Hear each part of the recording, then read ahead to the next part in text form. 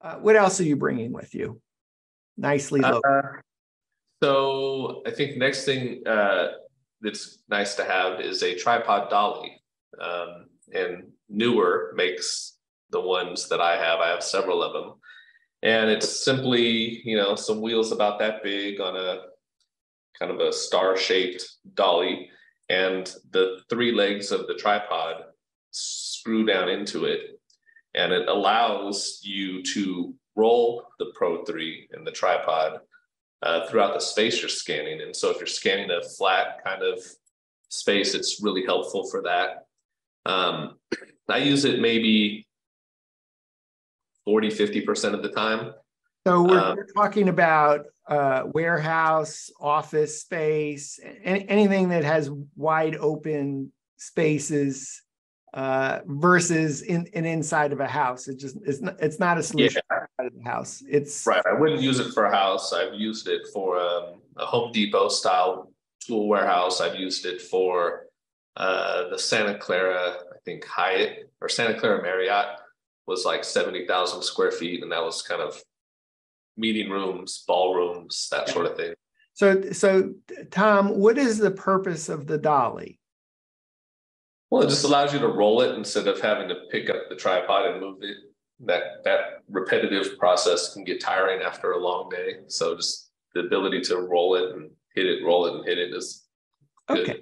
So this is for your health uh, of, uh, of not, I don't know, is there equivalent term for tennis elbow, Matterport elbow or something if you're constantly p- picking up the, the, yeah. the tripod? Uh, and, and second, does it help you scan faster? I don't know about scan faster. Um, no, I wouldn't say scan faster. Okay. Actually, sometimes it could slow down maybe because you have to make sure that it's not moving, not rocking.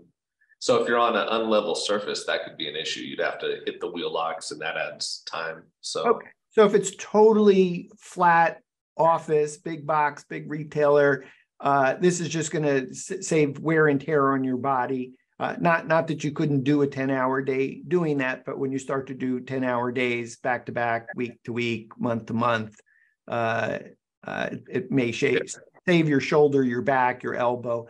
Um, and, happy and scanner, happy life. Sorry? Happy scanner, happy life. Happy scanner, life, happy life.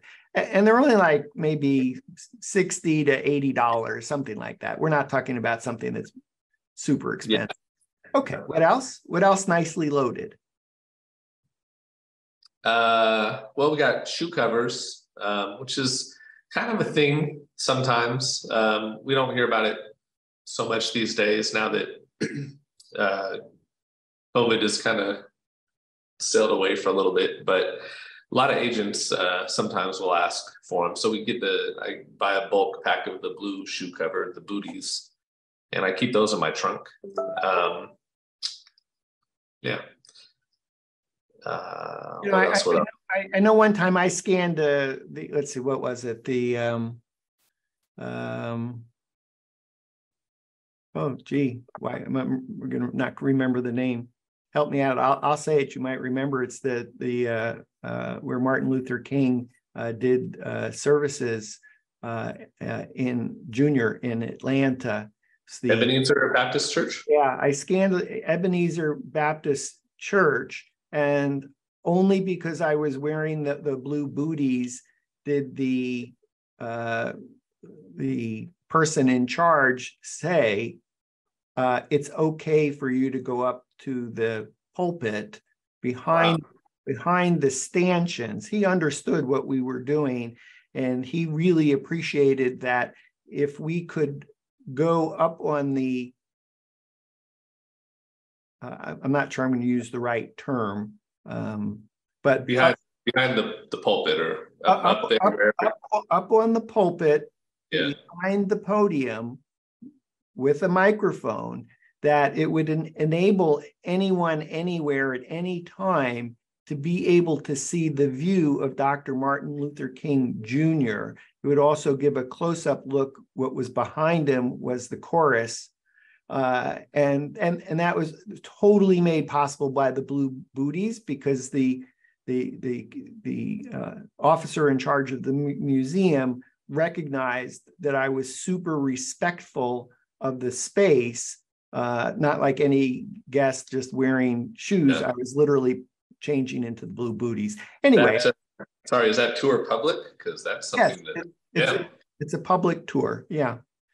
Uh, uh, I'll, I'll, put a, a, link in for those that want to see it. And you won't see my blue booties, but there there was a um, a docent uh, who is blind, uh, and he had his guide dog uh, in the space. So if, if, I guess there's a there's a little hidden gem if you can find his guide dog uh, okay. In the space.